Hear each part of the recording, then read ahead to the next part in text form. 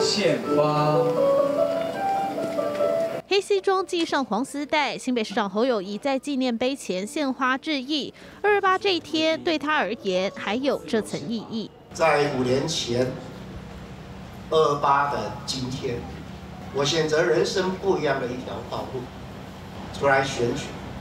在这个恶劣的环境底下，为政者进步，要聆听民众的响应，要用务实、理性、正确的方式去解决人民的问题。洋洋洒洒，侯友谊点出现阶段台湾困境，谈两岸也谈国家。用三平，社会公平，两岸和平，国家太平的东西。大家一起共同面对外面诡谲的情势，让这三安能够落实在中华民国，在台湾这一块土地。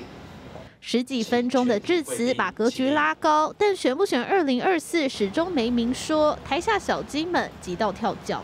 最好就是由我们党部这一边直接来征召我们侯友谊市长，也不需要再办任何的初选。听侯声浪越大，国民党越焦虑，最怕等不到蓝营办法的郭台铭，最后投向柯文哲怀抱。这要尊重郭台铭要加入哪个党？在有限的时间之内，国民党除了要推出最强的候选人，当然也要去跟菲律联盟，包含郭台铭。跟柯文哲来谈合作、谈整合，力求不要出现最后的三组人马，而这样真的会让民进党渔翁得利。犹如未爆弹的郭台铭，让蓝营燃起危机意识。党内陷入纷扰之际，国民党的二零二四总统人选持续卡关。金雄红新朋友周采访报道。立刻下载静新闻 App，一手掌握新闻时事，尽善尽美，静好新闻。